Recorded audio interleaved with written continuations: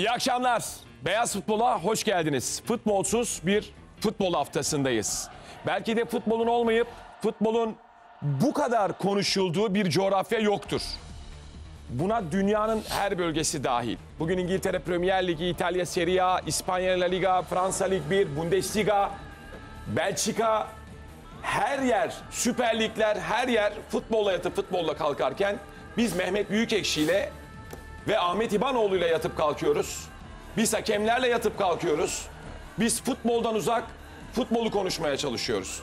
Gelin görün ki bir manifesto yayınlanıyor. O manifestoda spor programları hakkında radyo televizyon üst kuruluyla istişare ederek somut adımların atılması rica ediliyor. Hakemler söylüyor bunu. tamam. Olsun, o da olsun. Ne söylemişler? Biz de olalım. Hakemler? Spor programları hakkında Rütük'le istişare ederek somut adımların atılmasını rica ediyoruz. Yani şu anda Türk futbolunun derdi spor programları oldu. Dijital medya dahil buna işte özel videolar ve spor programları. Mehmet Büyükekşi, Sayın Mehmet Büyükekşi Türkiye Futbol Federasyonu'nda hakemlerle oturup konuşurken bazı yorumcuların isimlerini veriyor ki onların başında da çok özür dileyerek söylüyorum hocam Ahmet Çakar ve Mehmet Demirkol gibi isimler. Ben gurur duyarım. Bu benim gururumdur. Gelelim diğer tarafa. Sayın Merkez Hakem Komitesi Başkanı'ndan hakemlerin rahatsız olduğu birazdan biraz önceki teaserımızda da anlaşıldığı gibi Ali Kunak Merkez Hakem Komitesi eski yöneticilerinden hem de öyle kapı dışı yöneticiler değil. Gerçekten Lale Hanım'ın sağ kolu diyelim. Hani bizim bu masadaki dört kişi gibi düşünün önemli isimlerden birisi. Beyaz futbolun yorumcuları nasıl her yerde çok önemli ve özel Ali Kunak da öyleydi. Hala da hakemler tarafından çok saygı duyulan bir adam, bir isim. Acayip şeyler söyledi.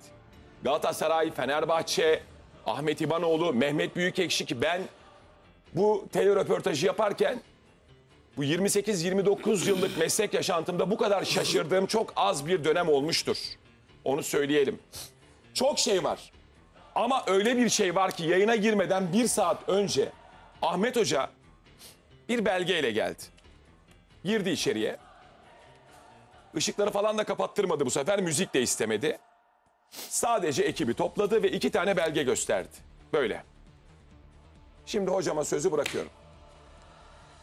Şimdi Mehmet Büyük Ekşi denen futbolun başında oturma hakkı olmadığı halde hasbelkader oturmuş bir adama Sen çok saat kalın geliyorsun. 12'ye kadar süre veriyor. 12'ye kadar lütfen bize bağlansın. Bağlanmadığı takdirde Bunu sürekli yazın alta. bir belge okuyacağım. Bu belge onun çok net söylüyorum. istediği mahkemeye verebilir. Onun yalancı bir şahıs olduğunu belgeliyor.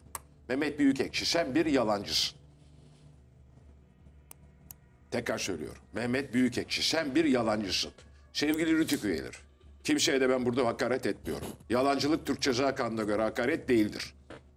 Kaba sözdür. Bu kabalık da benim gururumdur. Ama şimdi yalancı dedikten sonra yalanını ispat ettiğim an Mehmet Büyükekşi'nin zaten prestijli yerlerde sürünen sosyal hayatında ne hale düşeceğini saat 12'de hep beraber göreceğiz.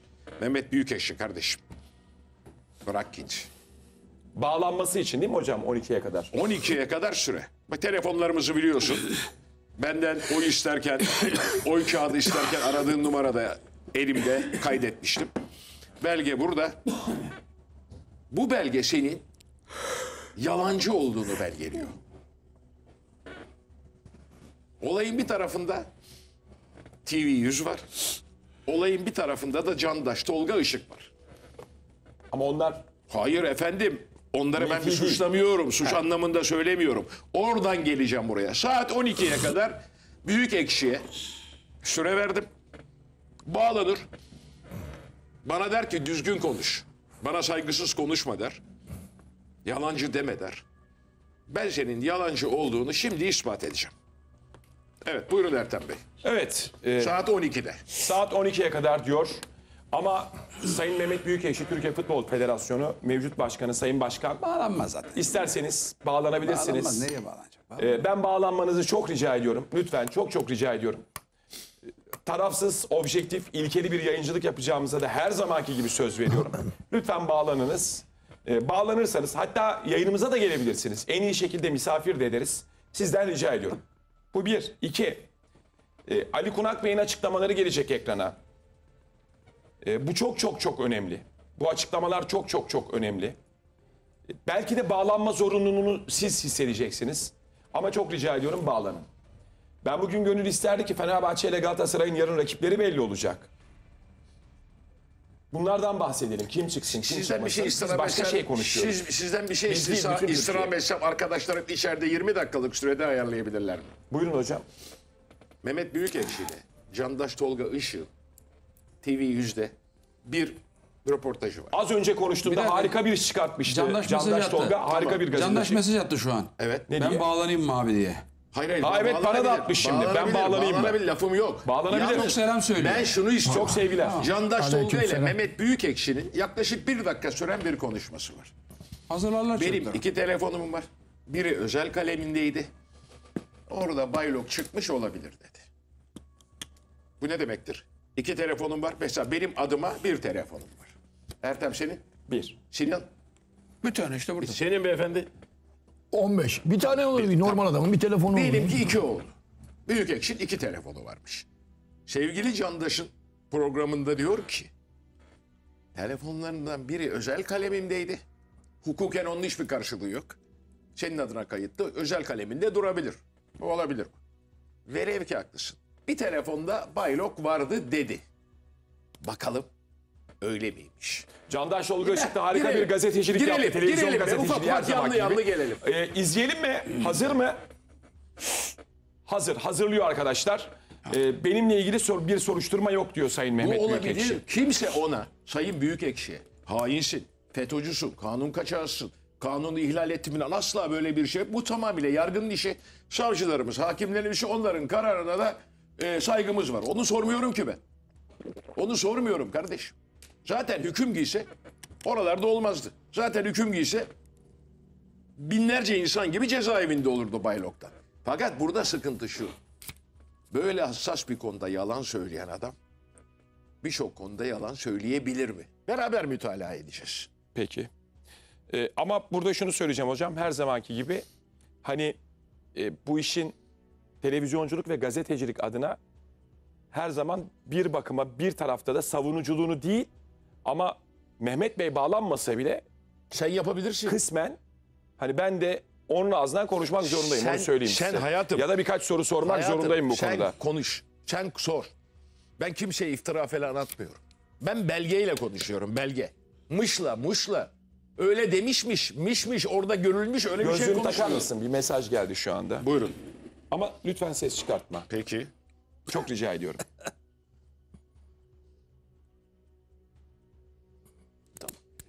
Neymiş diye sor. O biliyor. Evet, istiyorsanız sevgili kardeşim Candaş. Hazırmış Tolga. hocam. Buyurun, İzleyelim mi? buyurun. Evet sevgili Candaş Bizi Tolga Işık. izleyen yüz binlerce, milyonlarca seyirci iyi dinlesin bunu. Sevgili Candaş Tolga Işık bütün Türkiye biliyor. Çok iyi Çok bir başarılı, gazeteci, çok televizyon başarılı, evet. gazetecisi. Çok Çok çok başarılı bir programcı. Çok kafa bir adam diyeyim. Ee, ve Sayın Mehmet Büyükekşi yayınına gelmişti. Ve bütün Türkiye bu haberle bir anda ayağa kalktı. Herkesin merak ettiği soruları sordu ama en önemli nokta da buydu. Bir izleyelim. Sonrasında dönelim. Sevgili Candaş Tolga istemsiz olarak yüklenebilir diyor. Bu istemsiz olarak yüklenip yüklenmeyeceği benim konum değil. Ben şey teknik eleman değilim. Yok o genelde söyleniyor ya Tamam, hocam. lafım yok. Doğru bir soru soruyor. Tamam, yani. lafım Doğru bir yok. yorum yapıyor. Büyük ekşi ne diyor? Bir daha getir. Geri alalım arkadaşlar. Geri alalım. Bir geri alalım tekrar. Alıyor şu anda Serkan ve geliyor şimdi. Dur. Benim iki tane telefonum var. Bir tanesinde çıktı. Başka bir şey yok diyor. Güzel. İnsanların beyanı esastır. Bir defa olmayabilir demek nasıl bir cevaptır? olmayabilir. Mesela sen diyorsun ki Ahmet Hoca özel hayatında sigara içiyor musun?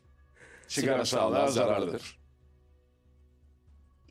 Olmayabilir diyor. Bu ne demektir?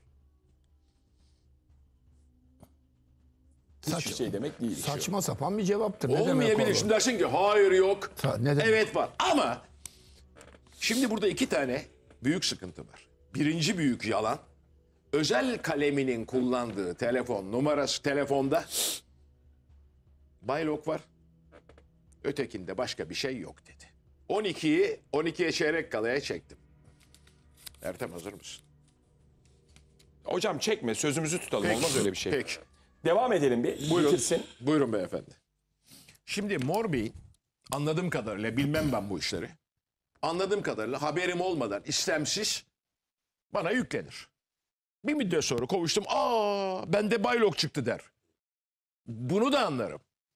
Fakat ben size az sonra göstereceğim adli evrakta enteresan şeyler göreceksiniz. Ondan önce şunu söyleyeyim. Ee, numarası Mor Bey'in listesinde var e, zaten. Telefonu istemsiz baylok yüklenenler demek Mor Bey'in. Onu anladım. Yok ben hani Onu izleyicimize de seyircimize de Bunu da anlarım.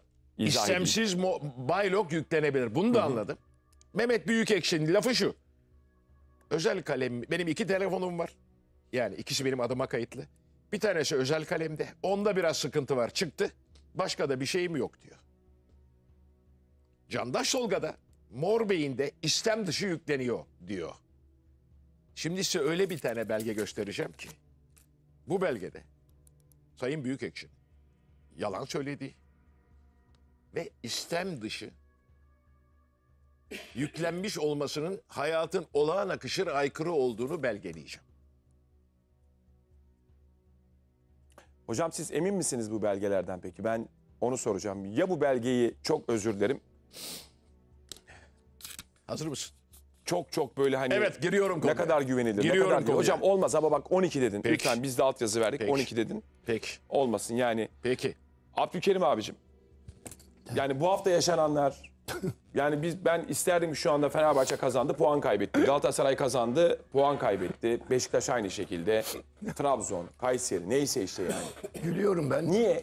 Niye gülüyorum evet. değil mi? Yani şimdi Ahmet Hoca'dan sonra benim gibi bir adama döndün ya. Mesela ben bu konularda son derece saf mı diyeyim, temiz mi diyeyim, cahil mi diyeyim? Cahil daha doğru. Yani bu konuların en cahil adamı benimdir. Hani telefonlar iki tane var. Baylok çıktı. Şöyle oldu. Mor beyin falan filan benim be- mor beyin değil benim beynim karıştı yani. Ben de mey beyin başka bir renk. Benim beynim şu anda turuncu muruncu olmuştur. Hiç anlamam. Dünyanın en saf adamına sordun. Bu beyefendi de ne çıkıyor, ne yapıyor, ne ediyor? Hiç bilmiyorum. Mesela neden federasyon başkanı seçildi bu? Seçildi de demeyelim. Atandı herhalde bu. Yani bunu kim seçti bilmiyorum ben. Ya da bu seçilirken 6 ay önce bunun karşısında bir aday var mıdır? Yoktu. Tek değil mi bu? Tek girdi. Evet. Tek. Yani aday olmayan bir seçime seçim denir mi? Karşısında bir aday yok. Ben onlara bakıyorum. Bir de şuna bakıyorum. Bu beyefendi ne kadardır görevde?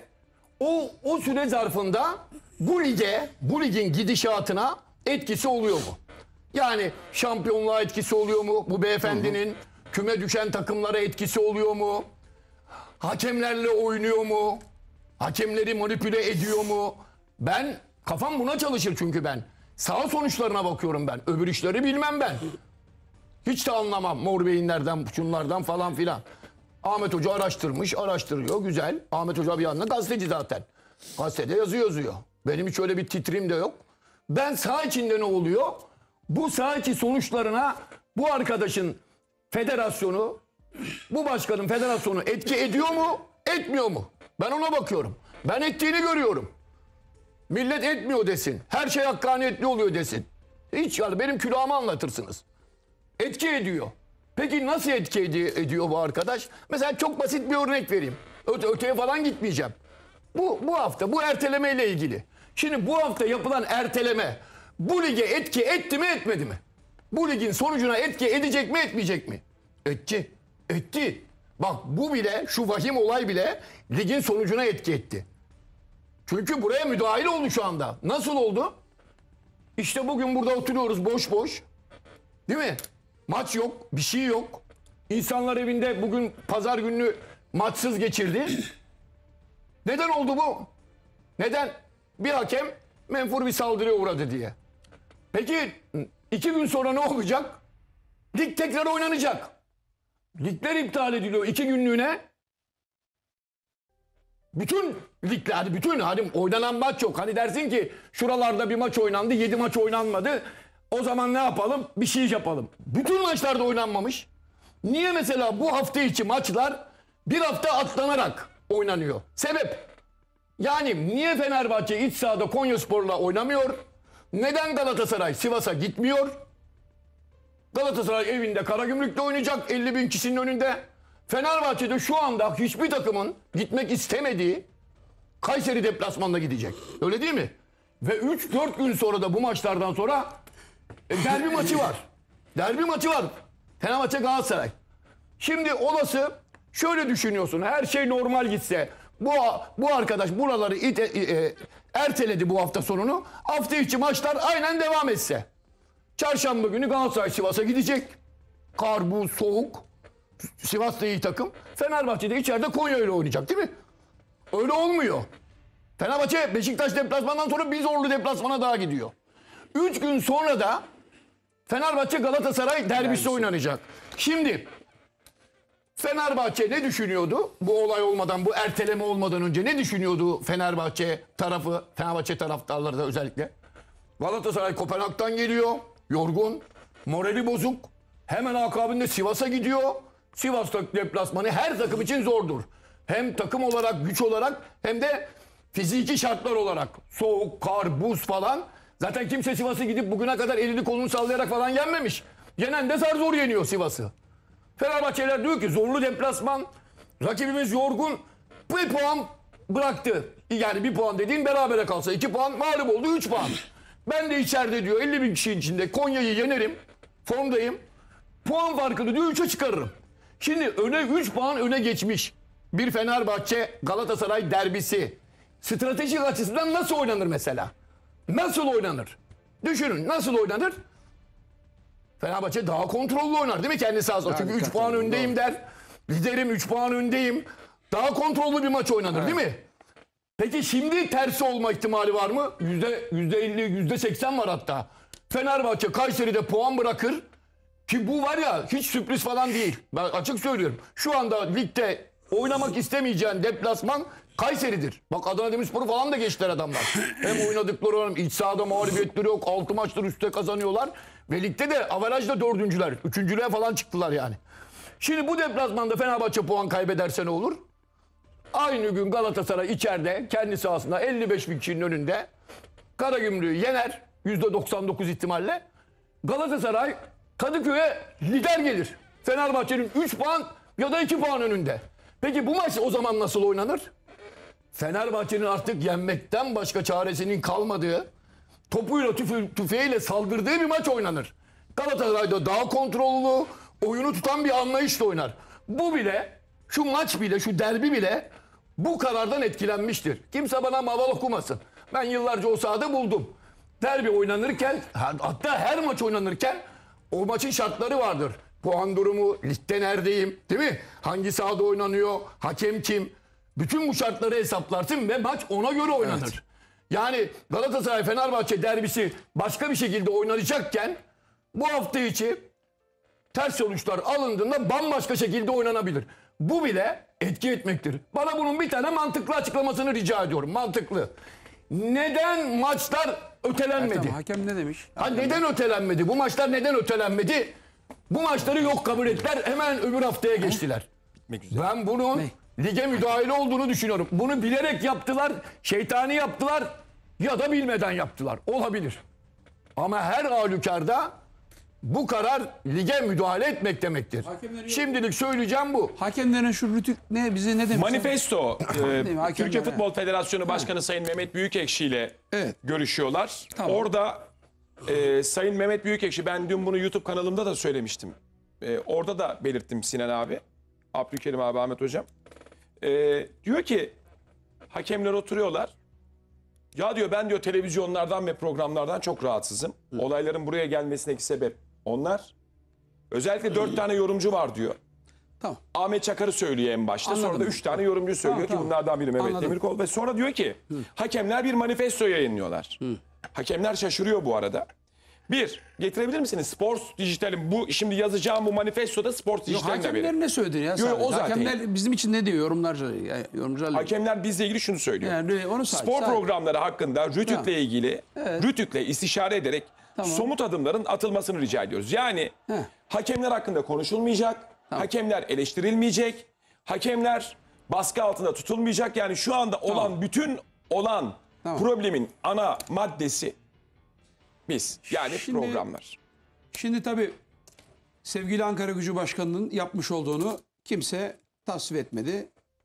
Hepimiz de üzmüştür. Yumruk atılmıştır, hakeme yerde vurulmuştur falan. Bunlar son derece son derece çok sevimsiz ve görmek istemediğimiz görüntüler. Hiç de yakışmadı bize ayrı. Şimdi hep ne derler biliyor musun? Hırsızın mı suçu var derler, ev sahibini mi derler. Kapıyı mı açık bıraktım veya hırsız mı suçlu, işte ev sahibi hep bir şey söylerler. Peki ben buradan hakemlere, tamam kardeşim. Bir milattır. Şimdi diyelim ki bir tane okul müdürünü dövdüler. Bir yerde. Bütün okullar mı kapanacak? Mesela. Bütün okullar mı o tatil olacak? Yani mesela. Tamam hakemler hep dokunulmazlığınız var. Her zaman aman diyorlar hakemler hakemler. Tamam. Türkiye hep beraber geçen hafta burada Faruk Hoca'yı ağır ve eleştirildik. Peki hakemler siz peki insanları delirtmiyor musunuz peki? Şimdi bu Faruk Koca ile ilgili hafta içi birkaç tane kulüp başkanıyla oturdum. Son derece çok efendi bir insan olduğunu ve çok sakin bir insan olduğunu hep söylüyorlar. Ve tamamıyla bizler sinirleniriz bizleri sakinleştiren bir adam olduğunu söylüyorlar. Şimdi peki hakemler siz insanların duygularıyla, insanların hayalleriyle, insanların futbolcuların ekmekleriyle, teknik direktörün ekmekleriyle hiç oynamıyor musunuz? He? Verdiğiniz kararlarda falan çok emin misiniz? Öyle bir kararlar veriyorsunuz ki insanlara neler yapıyorsunuz biliyor musun? Delirtme noktasına da geliyorsunuz ayrıca. Hele alt liglerde falan neler yaptığınızı falan filan hepsini bize söylüyorlar, anlatıyorlar. İnanılmaz işler yapıyorsunuz. Amatör küme maçlarında bile neler yapıyorsunuz. Ve size hiç kimse dokunamıyor. Hiç kimse size bir şey söyleyemiyor. Tamam size saldırmasınlar. Sizi dövmesinler. Eyvallah tamam. Bu buna hepimiz karşıyız. Faruk Koca'yı hepimiz hep beraber buradan tenkit ettik. Ağır şekilde eleştirildik. Ama adam parasını da vermiş. Şu an hapis yatıyor. Büyük para da vermiş. Neymiş? Hakem kararlarını beğenmemiş. Peki hakem ya verdiğin kararları acaba siz beğeniyor musunuz? Bu insanların psikolojisini rahatsız ediyor musunuz? Etmiyor musunuz? Hiç bakıyor musunuz? Bunları düşünüyor musunuz? Bir de diyorsunuz ki spor programlarında bizi yorum, e, yorumcular e, ağır eleştiriyorlar, rütüke şikayet edeceğiz. E ne yapacağız abi? Siz bizim hayallerimizle, duygularımızla, sevinçlerimizle elimizden alacaksınız. Kafanıza göre kararlar vereceksiniz. Her şeyi yapacaksınız. Kulübün başkanı çıkacak konuşacak. Kulübün başkanına ceza yazan bir federasyon var. Yani bu insanlar haklarını nasıl arayacaklar? Tamam vurmayla dövmeyle değil. Ama kardeşim siz de bir adam gibi maç yönetin ya. Adam gibi maç yönetemiyorsunuz. 6 hakemsiniz. 6 hakem 12 gözsünüz. Hala doğru düzgün bir kararı veremiyorsunuz. Bir offside kararına 7 dakika falan bakıyorsunuz ya. Ya insanları siz delirtiyor. Bir de manifesto yayınlıyorsunuz. Neymiş? Rütük aman desin ki işte ben hakem hata yaptığı sürece burada sonuna kadar eleştiririm. Somut adım istiyorlarmış. Hakaret de etmem. Ben zaten etmem ama sonuna kadar hakaret değildir. Sonuna kadar en ağır eleştiri yaparım. Çünkü siz insanların duygularıyla, hayalleriyle, ekmekleriyle, zamanlarıyla, vakitleriyle çalıyorsunuz, oynuyorsunuz kardeşim. Adam gibi maç yönetin bak. Size söylüyorum hakemler. Şimdi bundan sonra sakın ha ülke bizim arkamıza geçti. Bir futbol e, hakemimiz dayak yedi. İşte herkes e, bak ben söylüyorum ha Sinan Engin en yumuşak yorumcu olarak söylüyorum bunu. Kalkıp da sakın ha kenarda gelen bir antrenör ayağını uzatıyor. Pat geliyorsun o zevki alıyorsun kart zevkini. Her türlü şeyi alıyorsunuz. Kral benim diyorsunuz. Ama bir de artık bakın kardeşim. Bak gider falan demeyin. Kulüplerin ve taraftarların sinir uçlarıyla oynamayın. Daha yumuşak olun. Sakın ha bu saatten sonra çok sert davranın. Falan bakın size şimdi acemi bir grup var sizi yöneten MHK ve federasyon. Sakın ha bundan sonra daha sert olun. Taviz vermeyin falan filan laflar ederlerse sakın ha gelmeyin. Bak hakem kardeşlerim size söylüyorum. Normal daha yumuşak olun. Daha esnek olun. Daha arkadaşça davranın. Bakın bir hakem arkadaşımız dayak yedi. Herkes buradan kenetlendi. Herkes ne dedi? Yanlış dedi. Ama insanları da delirtmeyin. Adam gibi de ne olur maç yönetin. Bak hata yapıyorsunuz. Çok hatalar yapıyorsunuz. Kendiniz de görüyorsunuz ya. Kendiniz de biliyorsunuz ya. Çıkıp yani Türkiye'de hakemlerden memnunuz diyen bir tane insan varsa diyelim ki o zaman siz diyelim ki biz hata yapıyoruz. Var mı? Sen duydun mu hiç etrafında Türkiye'de Hayır canım, memnun hayır. olan bir kulüp var mı mesela? Ya o zaman ne? Kafama göre ben maç yöneteyim, evime gideyim, e, keyfime bakayım. Maçı da tescil ediyorum. Paramı da alayım. Bakayım keyfime. Oradan bir antrenör kovulmuş. Oradaki futbolcu primini kaybetmiş. Bilmem ne. Umurunda değil. Oradaki taraftarlar üzülmüş. Umurunda değil. Hayır. Adaletli gördüğünüzü çalın. Adam gibi yönetin ve futbolcularla daha saygılı olmaya çalışın sevgili arkadaşlar. Herkes sizin arkanızda. Hoca gıcıklanıyor. Hocanın saati geldi galiba. Evet. Hoca gıcıklanıyor. Onun için benden size nasihat. Ben burada her türlü eleştirimi yaparım. İstediğin yere şikayet et. Adam gibi maç yönet. Hakaret etmem. Suç varsa cezamı çekerim. O ayrı bir konu. Ben Neyin cezası. Sinan abi? Ne cezası Hayır, ya? hayır. Neyse Konuşmanın dava eder beni. Hayır, olur? dava eder beni.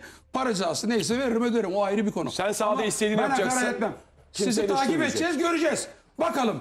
Yazık bak adam sinirlerine hakim olamamış. Bugün 50-60 yaşında adam cezaevinde yatıyor. Yani.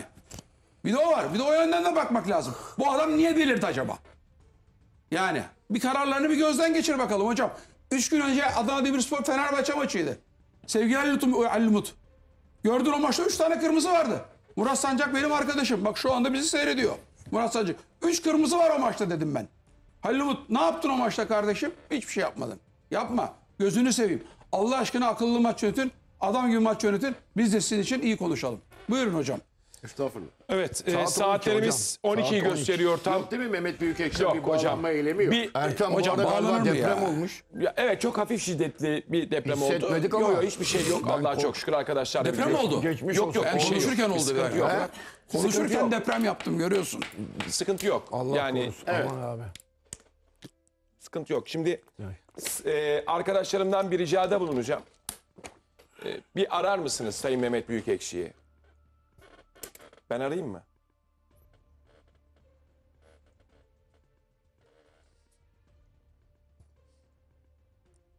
Niye arıyorsunuz? Bağlansın diye mi? Evet. Bağlanır mı ya? Sayın Mehmet Büyükekşi, Sayın Futbol Federasyonu Başkanımızdan rica ediyorum. Yayınımıza bağlanırsanız sevinirim. Çok mesaj geliyor şimdi bu konuyla da ilgili. Niye bağlanacak? Ahmet Hoca'nın neyi Bağlanmaz. açıklayacağını da Abi bir açıklasana Ahmet anlayanlar Hoca. da oldu. Hocam şöyle yapalım. Yayıncılık ilkesi gereği ben bir Sayın Mehmet Büyükekşi'ye bir yine bir sorayım. Ondan sonra hocam Açmayacak açıklasın. ki. Hayır ama şöyle bir durum var. Ahmet Hoca iddiasını biliyorum. Ahmet Hoca iddiasını bir dile getirsin. Elindeki belgenin ne olduğunu biz de görelim. Herkes Türkiye görsün. Eğer yanlışsa, hataysa, Ahmet Hoca'nın açıkladığı şeyse bağlanıp hayır bu öyle değil demesi daha normal değil mi? Daha bir şey açıklanmadan bağlansa Mehmet Büyükekşi ne diyecek ki bize? Bağlanacak ne diyecek? Ha ne diyecek? Ahmet Hoca'nın ne açıkladığını bir bilelim, bilsin adam yani. Belki de sen açıkladıktan sonra bağlanacak. Yok öyle bir şey diyecek. Elindeki kağıt yalan diyecek, bir şey diyecek. Evet. Bilmiyorum ben Ertem öyle daha mantıklı olur diye düşünüyorum. Ben e, vallahi genelde ben böyle yapmaya çalışıyorum. Tabii ki sizinkisi de Hayır, bir hayır, şeyi öneridir. söylüyorum, hani- Sizinki de bir öneridir ama Evet, benim şu anda önerim bu. normal olmayan bir belge olduğu için söylüyorum. Kardeşim, hani bu hazır olayın mısınız? üstüne gitmemin Hayır, sebebi efendim, budur. Bu belgeyi de aslında kimsenin hakkını yemem ben. Feridun Nideli oğlu kardeşim de açıklamıştı. Türk futbolunu çok çok çok hassas bir konuda hain darbe girişimi sonrası ortaya çıkan olaylar konusunda Türk halkına Açıklıyor deyin. köküne kadar yalan söylemiş bir adam Türk futbolunu şu anda yönetiyor. Tekrar söylüyorum. Türk futbolunu şu anda çok hassas bir konuda ağır bir yalan söylemiş adam yönetiyor. Senden rica ediyorum 15 saniyelik Candaş Tolga'yı ver ondan sonra konuya girelim. Evet bir kez daha verelim. Sevgili Candaş Tolga Işık'ın meslektaşımızın az önce konuştum TV yüzde az önce konuştum programındaki Sayın Mehmet Büyükekşi ile olan o bölümü verelim bakalım. Mehmet Büyükekşi. Bu arada ben Sayın Mehmet Büyükekşi'yi aradım ve mesaj gönderdim şu anda. Cevap yok. Mehmet Büyükekşi diyor ki iki tane telefonum vardı. Biri özel kalemdeydi. Onda Baylok çıktı. Başka da bir şey yok. Sen bir yalancısın. Mehmet Büyükekşi niye? İstanbul Cumhuriyet Başsavcılığı Terör ve Örgütlü Suçlar Soruşturma Bürosu'nun silahlı terör örgütüne üye olma suçlamasıyla yapmış olduğu soruşturmada Mehmet Büyükekşi'nin adına kayıtlı 532 ile başlayan 312 ile devam eden arkasını okumuyorum. 3 farklı tarihte 12 kez erişim yapıldığı tespit edildi. Hadi bu özel kaleminde olsun. Oysa ki Mehmet Büyükekşi'nin adına bir telefon daha var. O da 0530 ile başlıyor. 035 vesaire vesaire devam ediyor. Arkasını vermiyorum. 6 farklı tarihte toplam 55 kez erişim sağlandığı tespit ediliyor. Ne demek erişim sağlanmak? Yani o Bayloğa giriyorsun, yazışıyorsun birilerinde. Peki. Yani ben Hatta burada daha savcılık- izahatli olsun diye. GSM hattı üzerinden hangi e-mail numarasıyla girdiğini falan tespit etmiş. Savcılık eder öyle imkanları Ekrana var. getirebilir miyiz Tabii peki? ki getirin. Buyurun. Bir daha hocam okur musunuz? Bir Tekrar daha ekrana gelsin. Bu arada rejiden de arkadaşlarımız aramışlar. Sildik. Sayın Mehmet Büyükekşi cevap Şüpheli vermiyor. Evet. Fahrettin İnce diyor. İşte bunun özel kalemi. Mehmet Büyükekşi'nin özel kalemi. İkincisi Mehmet Büyükekşi. Full verin arkadaşlar. Fahrettin İnce özel kalemi. İkincisi de Mehmet Büyükekşi. Suç diyor silahlı terör örgütüne Üye olma. üye olma. Suç tarihi 2017 İstanbul. Şüpheli Mehmet Büyükekşi. Mustafaoğlu olma. Tamam, ötekileri On- Bazı detaya yerleri girmiyorum. sildik gerek yok. Suç silahlı terör örgütüne üye olma. 15 Temmuz 2016. bak soruşturma 2016 numarası yukarıda. İzmir, İstanbul. Tamam. İstanbul bu arada Cumhuriyet Başsavcılığı Terör ve Örgütlü Suçlar Soruşturma Bürosu. Evet. İkinci belgeyi getir. İkinci belge gelsin arkadaşlar tam ekran. Bakın. Şu ikinci paragrafı okuyun. Soruşturma evrakı incelendi. Hayır ikinci paragrafı oku. Şüpheli Mehmet Büyükekşi'nin kullanımında bulunan 532 312 nokta nokta nokta nokta noktalı GSM hattı üzerinden 356 ile başlayan e-mail nolu cihaz ile ilk kez 6.09.2014 tarihinde Baylok kriptografik iletişim sistemini kullan- kullanıldığının ve 3 farklı tarihte 12 kez erişim yapıldığının tespiti üzerine tahkikat derinleştirildiği, Tamam. İkinci, üçüncü paragrafı oku. şüpheli Mehmet Büyükekşi, FETÖ, PDY silahlı terör örgütü yapılanması ile irtibatlı olmadığını, kullanımındaki hattın yoğunlukla başkanı olduğu Türkiye İhracatçılar Meclisi Başkanlığında özel kalem görevi yapan şüpheli Fahrettin İnce tarafından kullanıldığını, sekreterya görevi nedeniyle taşınarak muhataplara cevaplar verildiğini, Fahrettin İnce'nin iş akdinin 01.05.2017 tarihinde sona erdirildiğini, 530 035 nolu GSM hattını kullandığını beyan Dur. ettiği. Dur. Candaş Olgan'ın programında diyor ki 532 ile başlayan özel kaleminde bulunan Evet. telefonda baylok çıktı diyor. Ben ise savcılık ifadesinde 530 035 numaralı GSM hattını kullanıyorum. Büyük ekşi Candaş Tolga ötekinde bir şey yok diyor. Üçüncü bölümü getir. Üçüncü bölüm gelsin arkadaşlar. Verin kardeşim. Şüpheli Mehmet Büyükekşi. Doğru değil mi hocam burası? Şüpheli Mehmet Büyükekşi. 9-11-2017 tarihinde Cumhuriyet Başsavcılığımıza müracaat ederek Türkiye İhracatçılar Meclisi Başkanlığı'nda Hayır hayır hayır o değil o değil yukarı oku. yukarıyı getirin arkadaşlar. Yukarıyı. Deminki yeri. Deminki yeri. Şüpheli, O Mehmet- değil o değil o değil. Son bölümde Şüpheli Mehmet Büyükekşi'nin bu beyanı bölümde. Cumhuriyet Başsavcılığımızın 2016 114 135 sayılı O değil, o soruşturması değil. Üçüncü kapsamında bunu iletilen. Baylok üçüncü yok üçüncü sayfa. 3. sayfa. Burası işte hocam 3. Evet sayfa. kişilere ilişkin diye başla. Tamam, önce ama önceki bir cümle Tamam tamam tamam okey. Bir öncekini getirin arkadaşlar bağlantılı çünkü. Şüpheli Mehmet Büyükekşi'nin bu beyanı üzerine Cumhuriyet Başsavcılığımızın 2016-114 135 sayılı soruşturma kapsamında iletilen Bayrok, Baylok kriptografik iletişim sistemini kullanan kişilere ilişkin liste incelendiğinde de şüpheli Fahrettin İnce'nin Türkiye İhracatçılar Birliği Başkanlığı'nın kullanımına tahsis ettiği 0530 035 nolu GSM hattı üzerinden e-mail nolu cihaz ile ilk kez 12.09.2014 tarihinde Baylok kriptografik iletişim sistemini kullandığının ve 6 farklı tarihte toplam 55 kez erişim, erişim sağlandığının tespit edilmesi üzerine tahkikat tahkikata devam edildi. Bitti mi? Evet. Mehmet Büyükekşi'nin 532 ile başlayan ve 530 ile başlayan iki telefonu var. Bir tanesi yedirdi Türkiye'ye. Candaş Tolga'nın programında dedi ki onda özel kalem kullanıyor. Onda çıktı öteki temiz ötekisi daha kalın. 55 defa. 55 kez iletişim. Şimdi bu girişler çıkışlar Mor Bey'in de istem dışı telefonlara girme olayını ortadan kaldırıyor. Bir şey senin telefonuna istem dışı yüklenirse öyle bir şey olduğunu farkında olmazsın. Bir kere bile girmezsin.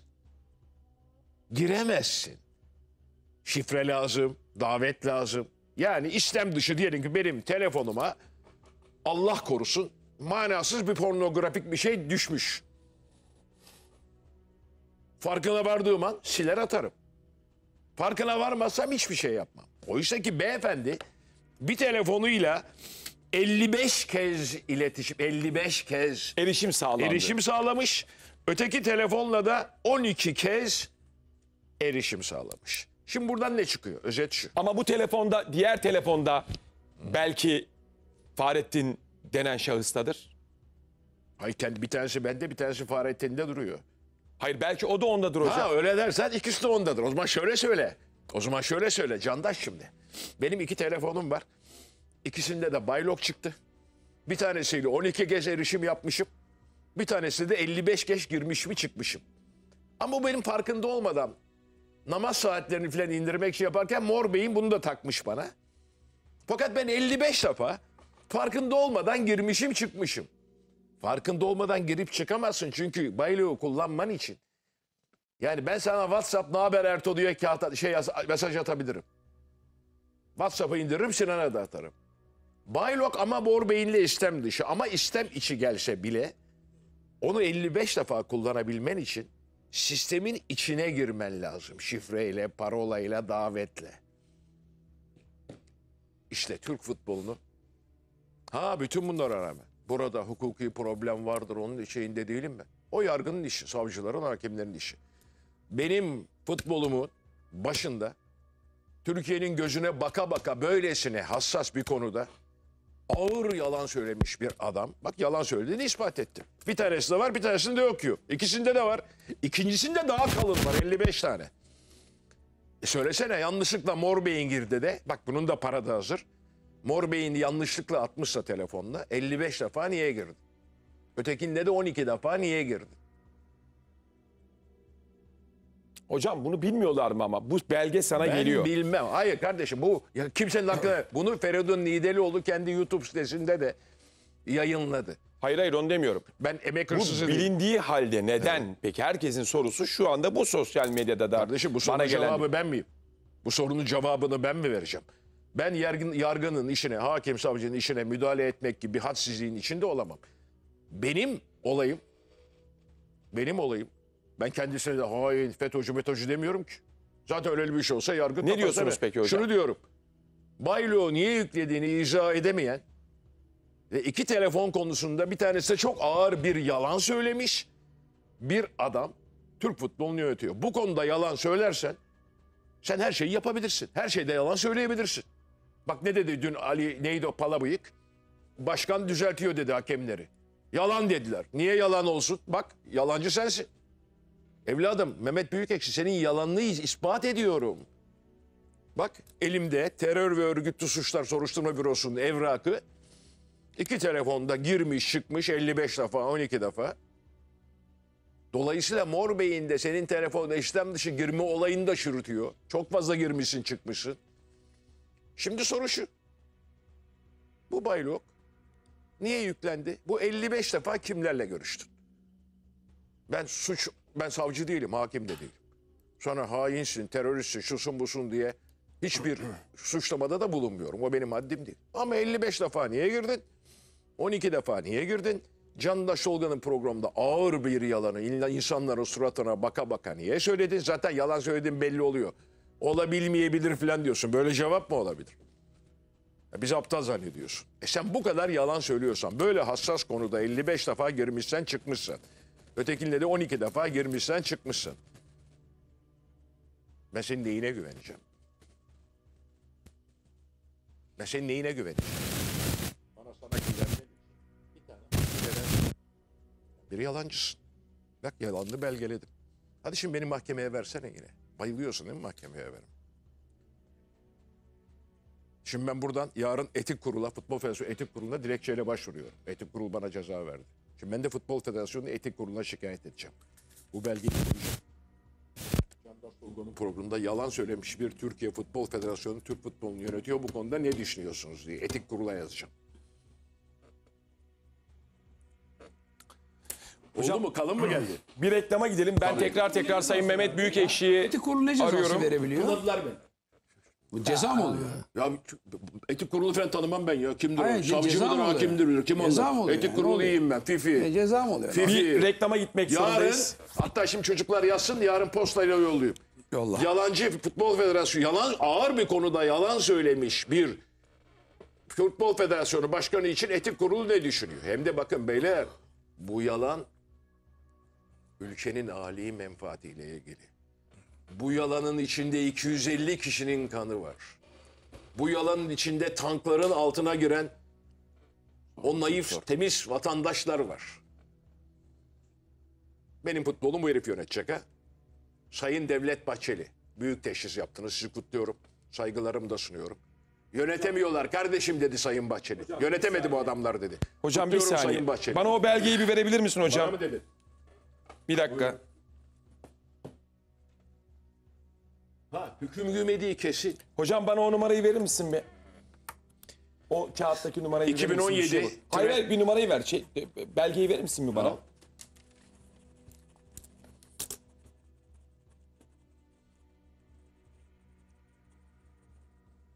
Bak belge kapı gibi. Sakın savcının ismini verme. Hocam verir miyim ya? Hocam He.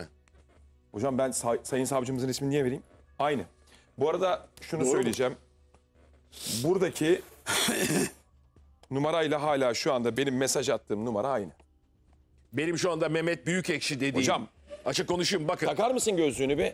Evet. Hocam bir bak şu numaraya bak. Biz onu ekrana vermedik ya. Bak. Bak Mehmet Büyükekşi 532 Hocam başlıyor. dur bir dakika. Hayır o söyleme. kadar duruyorum Yine de orada. söyleyeyim. Aynı numara evet. Aynı numara. Yani Mehmet Büyükekşi senin benden oy istediğin, imza istediğin numara 15 defa Baylok numarası. Ulan bizi de yakacaklar. Hocam ha. çe- çevir. Hocam numara görünüyor. Aa pardon. Bir de öteki yani. Tamam hadi bu özel kalem. Ötekisi senin temizlediğin, onunla bir şey yok dediğin 55 defa girmişim ben. Ulan 55 defa ben ben karımı aramıyorum ya bir ayda 55 defa. Vallahi aramıyorum. Arayacaksın abi. Yanında Ya zaten yanındayım yenge zaten. ya, ben Allah bir Allah. ayda mesela 55 defa ya ben bir ayda 55 defa Ertem'i aramıyorum. Sen kimi aradın abi 55 defa?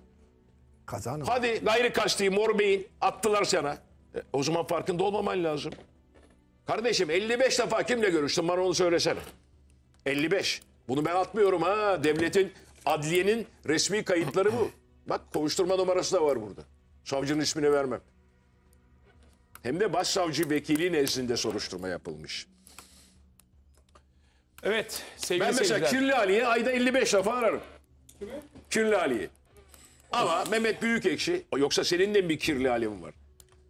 Ama ben Kirli Ali'yi çatır çutur normal telefondan arıyorum. Hocam Buyurun ya, beyefendi. Bir Ali- reklama gidelim. Kirli bir Ali reklama gidelim. ya. Benim hemen e, sevgili rejiden arkadaşlarım bir gelebilir mi yanıma? Çok acil yanıma gelsinler.